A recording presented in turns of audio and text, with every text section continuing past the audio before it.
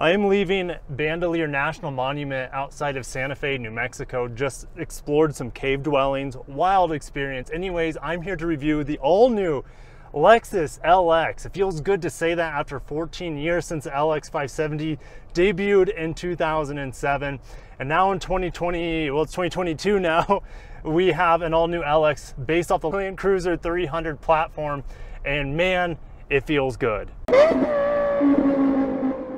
All new from the ground up, this LX600 is on the new F platform for Toyota. It's their new body on frame platform. Of course, it's shared with the Land Cruiser. Of course, it's shared with the new Tundra. And like the new Tundra, this has the same twin turbo V6. It's tuned on premium here, so it produces uh, 409 horsepower and 479 pound-feet of torque. No hybrid option yet. Still has a 10, uh, 10 speed automatic that we see in the Tundra, so that's good to see. And we're going up this hill, just punch it a little bit, instant response, and it easily climbs these mountain roads. Like the torque is immense and it feels good. Like the old V8, while it was thirsty, it did have a good punch to it, but it was also a lot louder, I've noticed, um, at least in these initial impressions of this LX 600. Man, this view is just insane. This vehicle for Lexus is a little bit more special than ever has been, especially here in North America as Toyota canceled the Land Cruiser. And a part of that was due to sales, a part of that was due to maybe a lack of marketing uh, for the Land Cruiser here stateside. But now the LX is really the only Land Cruiser vehicle that we have here. And Lexus is expecting a doubling in sales as a result because not only is this product fresh, competitive, and really good, it doesn't have the Land Cruiser to take, a, take sales away from it. So what we have is a much more fleshed out lineup for the LX than we've ever seen. In years past, you're lucky if you even saw a two-row base version LX, and then most of it was like the luxury package at around like $105,000. Now the new LX is incredible. It has five tiers. You have a base, you have a premium, you have a luxury, you have an F Sport, which technically the F Sport probably sits between the luxury and the premium. I'm driving the F Sport. I'll give you my impressions on what I think about it. And there's also the ultra luxury four seater that has a price tag of around $126,000 and it is an ultra luxury experience. And I'm going to make sure Android Auto takes me home while I'm on the top of the mountain while I have cell service. I'm trying out Android Auto on this new system because I've been using the built-in Lexus system called the Lexus Interface. It shares a lot, not only with the NX, but also the Tundra. All new software developed here in North America for the first time ever for Toyota and Lexus. And it's pretty good as long as you have cell service. And same thing uh, with my Android Auto here it took a while to calculate, but we got it locked in. We'll make it back to the four seasons. A perfect place for the LX man, look at this view. I'm, I'm, sure, I know you guys don't have the 360 view that I do. I need to talk about this F Sport. I've driven three different LXs. I've driven the Ultra Luxury, I've driven this F Sport, and I've driven uh, Premium with 18 inch wheels.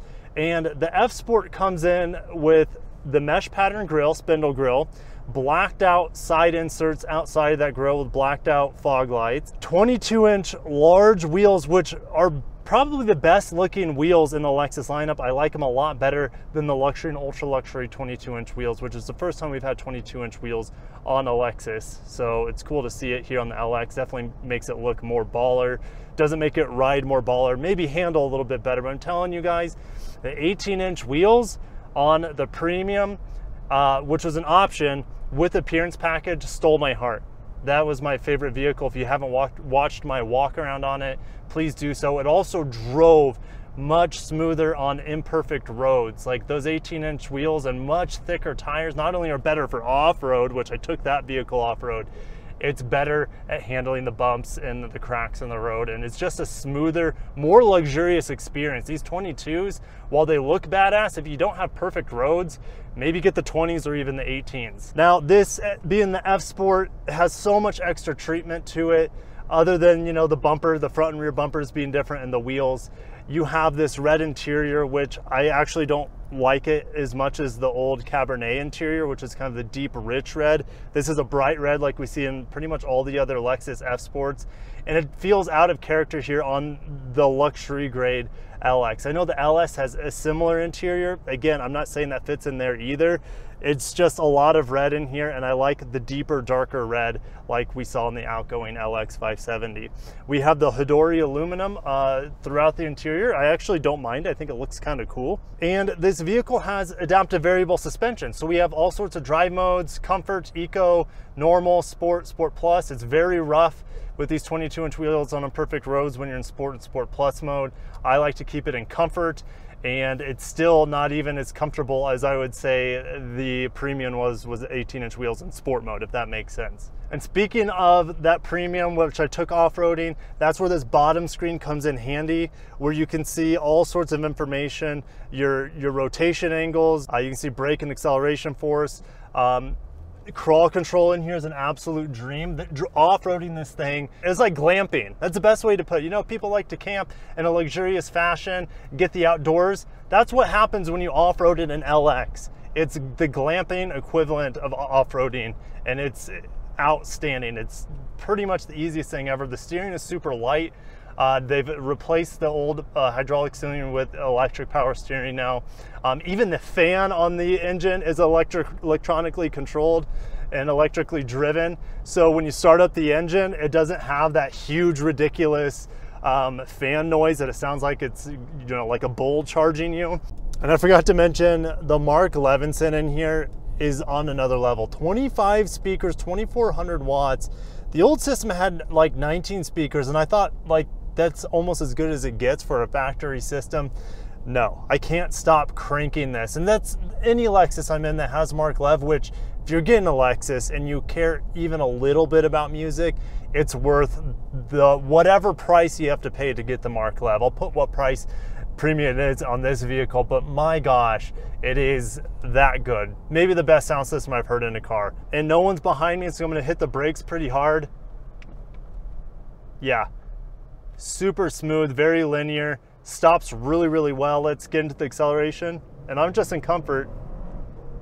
It's so quiet. I feel like it wasn't giving me the full beans there uh, in comfort mode, but that's okay.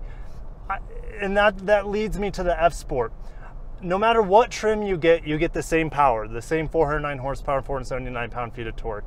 And the F Sport just kind of gives you a little bit more, it gives you maybe a little bit more sport tune suspension, which I don't like in this vehicle. It's rougher than even the ultra luxury uh, with also the 22 inch wheels. It, it doesn't, Lexus didn't need to bring an F Sport to this vehicle.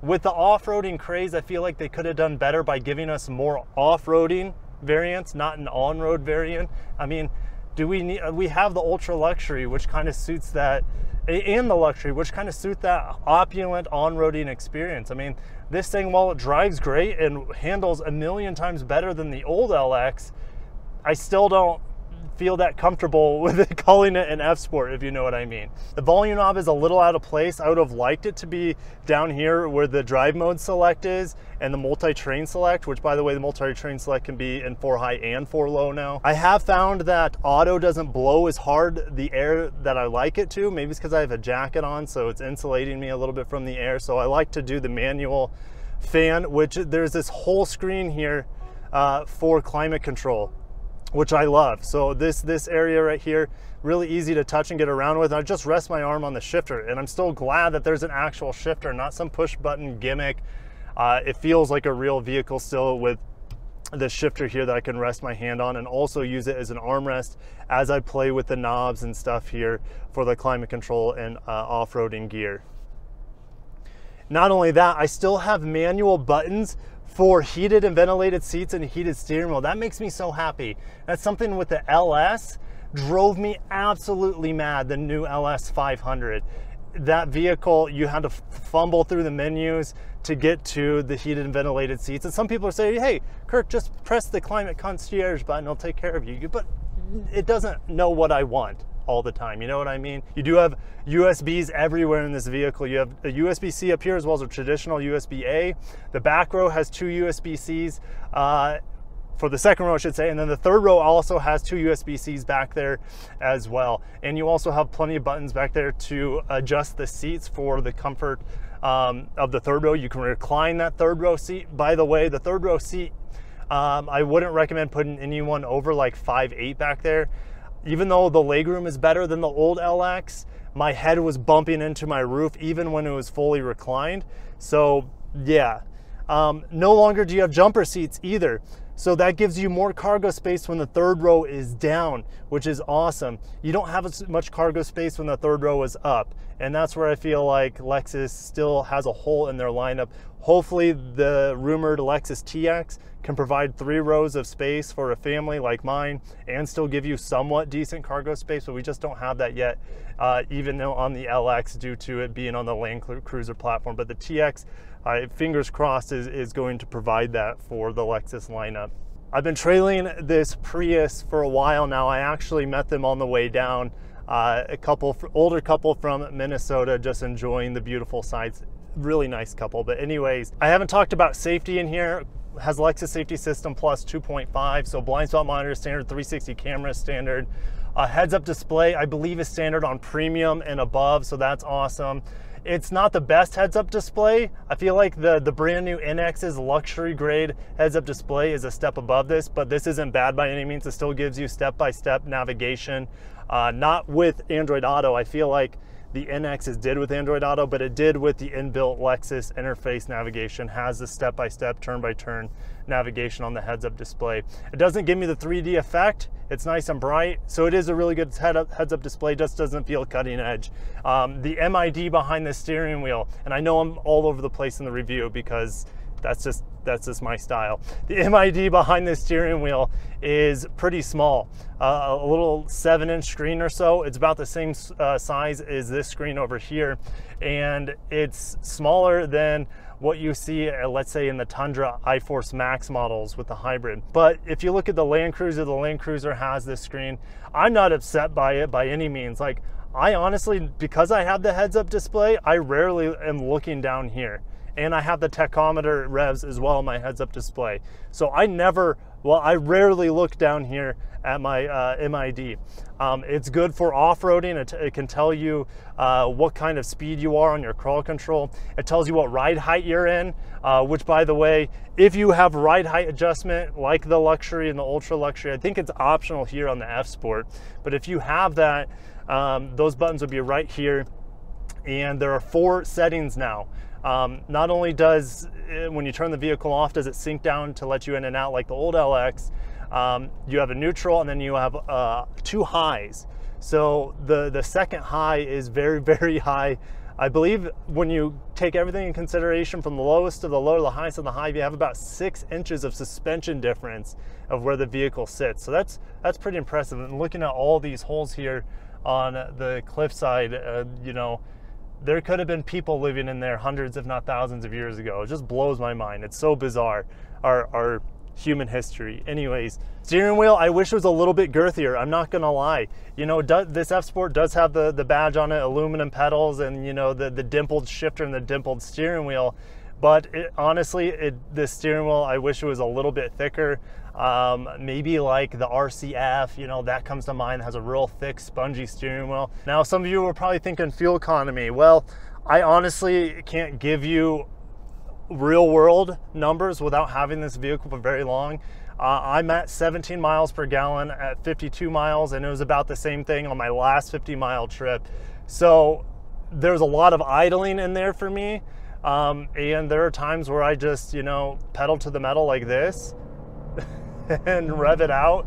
Um, so that doesn't help the fuel economy. It's rated uh, combined around 19 miles per gallon, 17 in city, 19 combined, 22 on the highway. So it's a step up and you know, it doesn't seem like that much better uh, than the old one, but man, the old LX has got like what, 14, 15 miles per gallon.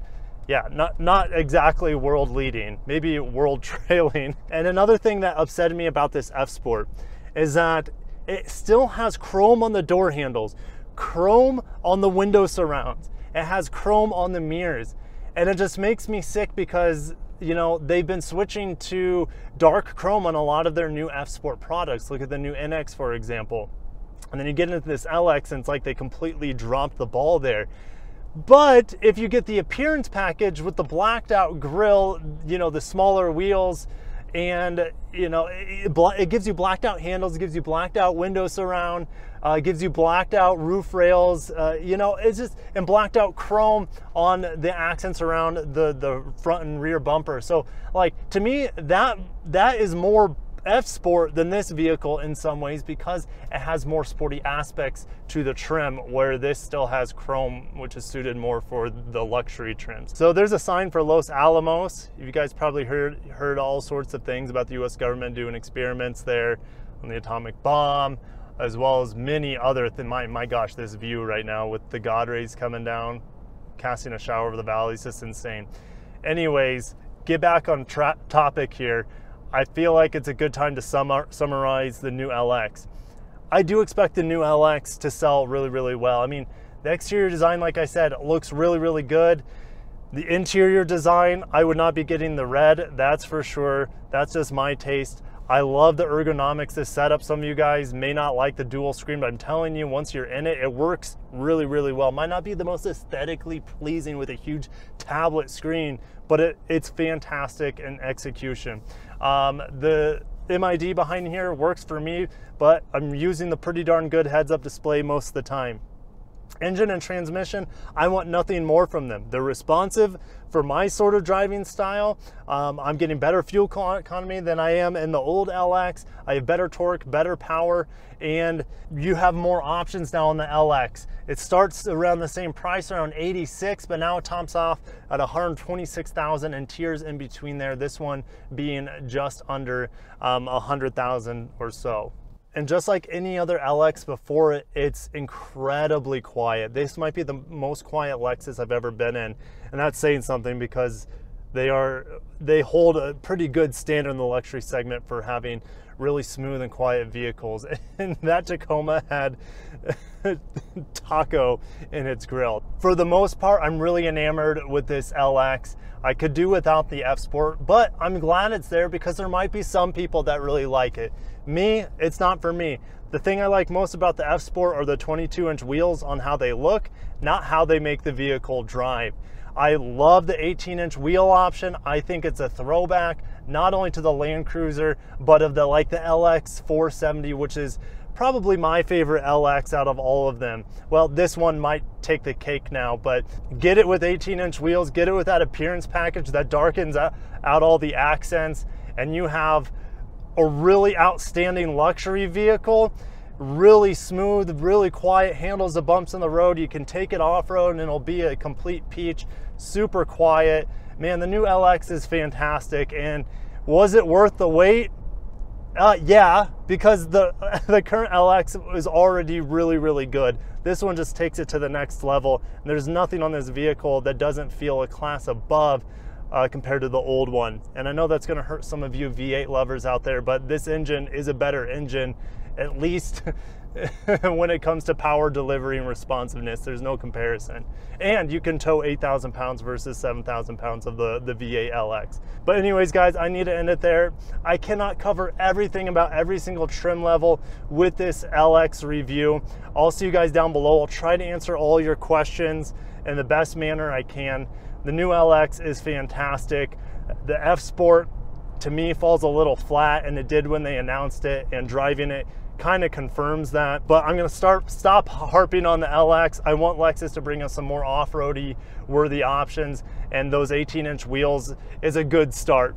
I'm gonna stop there. I'll see you guys down below. If you enjoyed the video, smash the like button, subscribe for more Lexus content. You guys know there's more Lexus this year. We got the RZ coming out uh, by the end of the year. I'll be driving that as well as the new RX should be coming by the end of the year. So I'll be giving you guys hands-on media drives like this. Cannot wait to share the amazing things coming for Lexus, the luxury brand of Toyota. Thank you so much for your support. Without you guys, I wouldn't have been able to visit cave dwellings of, of our human history. Just amazing. Anyways, I'll see you guys in the next video. And as always, peace out.